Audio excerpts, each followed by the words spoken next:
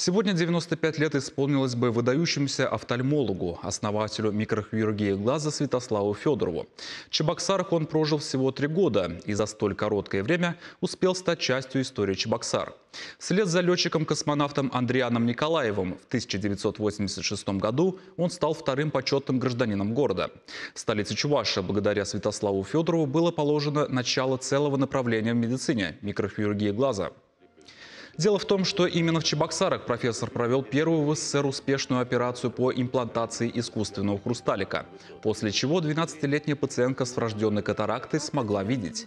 Кстати, в 1987 году в Чебоксарах был открыт первый филиал офта- офтальмологической клиники. Сегодня в Чебоксарах именем Федорова названа улица и сквер, а в день его рождения отмечается Международный день офтальмологии в знак признания его заслуг.